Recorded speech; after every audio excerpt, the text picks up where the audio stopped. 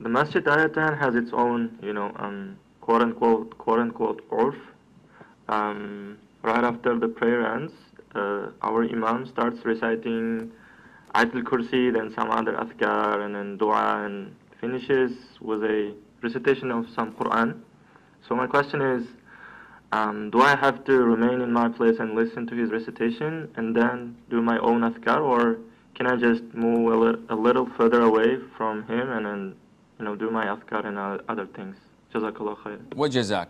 So basically, Abdullah's question is about what the Imam does after conclusion of his prayer. He does the adhkar and he makes few du'as, recites the Quran loudly.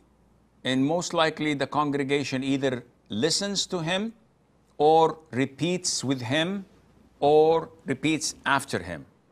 Most likely, if you ask him, did the Prophet ﷺ ever do such a thing?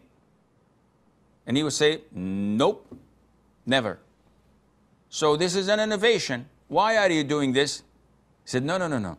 The Prophet had never done such a thing, but because we are here in Japan and most people don't know these adhkar, so I'm saying it loudly so that they can learn it. Now, if you said this once in a lifetime, twice in a lifetime, hmm, maybe I would accept this.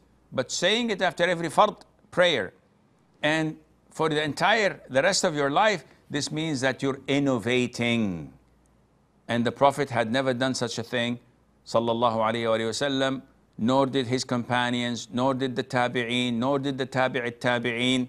So definitely, either you know more than them, or you have committed a, an innovation. What is my role? Your role is not to join them.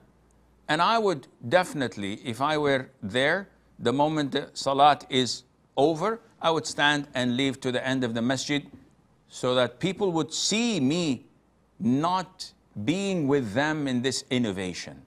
If he was sincere, he would have taught them one by one these adhkar on a blackboard and they repeat it eh, after him one by one, not in congregation after salat. No, he dedicates a class to do that and Allah knows best.